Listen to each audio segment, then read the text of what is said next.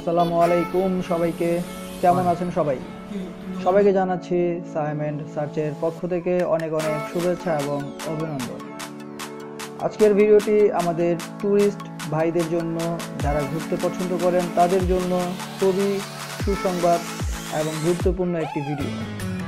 তো ভিডিওটি শুরু করার পূর্বে সবার কাছে আমার একটাই রিকোয়েস্ট অনুরোধ যারা আমার চ্যানেলটি এখনও সাবস্ক্রাইব করেননি তারা দয়া করে চ্যানেলটি সাবস্ক্রাইব করে দিবেন। আর যারা করেছেন, তাদেরকে জানাচ্ছি অনেক অনেক ধন্যবাদ। তো ভিডিওটি হচ্ছে আমাদের সবার জন্য খুবই একটি মূল্যবান ভিডিও এবং সুখবরও বলা চলে। তো সুখবরটি হচ্ছে এটাই যে আমাদের জন্য ছাব্বিশে মার্চ ঢাকা ক্যান্টনমেন্ট থেকে নিউ জলপাইগুড়ি রেল স্টেশন পর্যন্ত ট্রেন চালু হতে যাচ্ছে। তো এটি আমাদের জন্য খুবই খুবই সুখবর, যেটার জন্য আমরা অনেকদিন অপেক্ষা করছিলাম, সেটা এখন আমাদের বাস্তবায়ন হতে যাচ্ছে। তো এখন আমাকে কেউ জিজ্ঞেস করবেন না যে ভাড়া কত বা এটা কীরকম, কি হইতে পারে ডিটেলস আমরা পরবর্তী ভিডিওতে আমরা জানাব। তো একটু অপেক্ষা করুন, আমি যতটুকু আপডেট পাবো আপনাদেরকে জানানোর চেষ্টা করব। এখন বাকি আপডেট বা যেটুকু জানার দরকার ছিল, আমরা ডেসক্রিপশনে যাচ্ছি ডেস্কটপে নিয়ে আপনাদেরকে দেখানোর চেষ্টা করতেছি। চলুন শুরু করা যাক।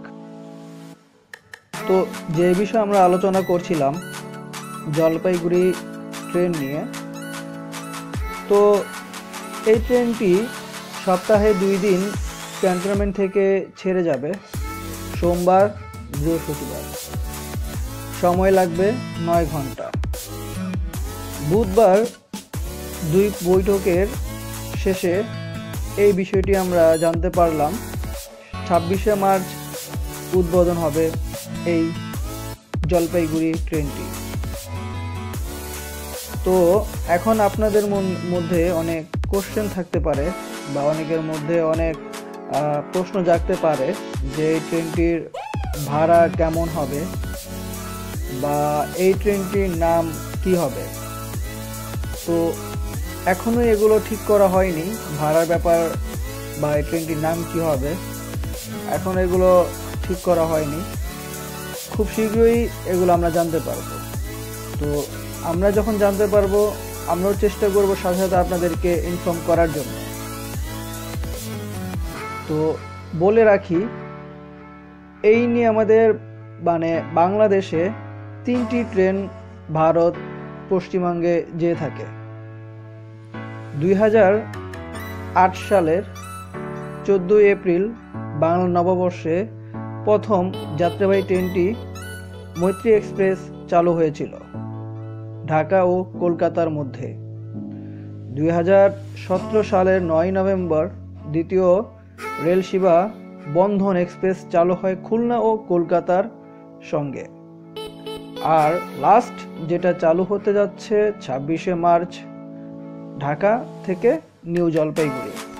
তো আমরা খুবই আনন্দিত এবং খুবই উৎসাহিত যে এই ট্রেনটি আমাদের মাসের মাঝে আসলেই চালু হয়ে গেল। আপনাদের সাথে সাথে আমিও খুব খুশি হয়ে মানে খুশি হয়েছি এই ব্যাপারটি, যখন আমি নিজেই জানতে পারলাম। তো নয় ঘণ্টা থেকে সাড়ে নয় ঘণ্টার মত মানে নয় ঘণ্টা থেকে সাড়ে নয় ঘণ্টা পর্যন্ত আমাদের সময় লাগতে পারে। ট্রেনটি নিউ জলপাইগুড়ি স্টেশনে গিয়ে থামবে আর চালু হবে আমাদের ঢাকা বাংলাদেশ ক্যান্টনমেন্ট থেকে। তো যতটুকুই বলার দরকার ছিল বা ইম্পর্টেন্ট বিষয় ছিল, আমি সবগুলোই আপনাদের মাঝে তুলে ধরলাম। জানি না কতটুকু আপনাদেরকে বুঝাতে পেরেছি, কিন্তু চেষ্টা করেছি বলার জন্য।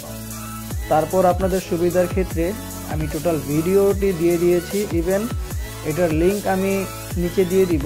আপনারা কাইন্ডলি চেক করে নেবেন। যাতে আমার যদি কোনো ভুল ত্রুটি হয়ে থাকে সেগুলো আপনারা আমাদেরকে কমেন্টসে জানিয়ে দিবেন। তো দেখুন আপনারা ভিডিওটি।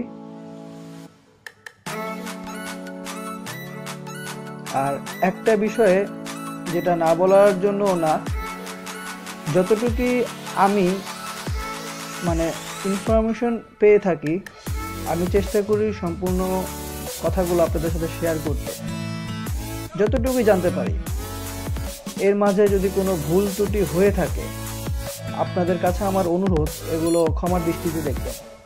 কারণ আমরাও অনেক সময় অনেক ভুল ত্রুটি জিনিস বা অনেক ইনফরমেশন পেয়ে থাকি, অনেক ভুল ত্রুটি ইনফরমেশন হ্যাঁ আমরাও অনেক সময় শিওর থাকি না, কিন্তু যতটুকুই পাই, যেভাবেই পাই, আমরা চাই আপনাদেরকে বলার জন্য, জানানোর জন্য। কারণ আপনাদের জন্যই আমাদের ভিডিওগুলো করা।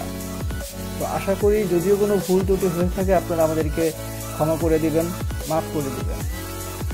তো আজকে এই ভিডিওটি এই পর্যন্তই শেষ করলাম। সবাই ভালো থাকবেন। খোদা হাফেজ। আসসালামু আলাইকুম।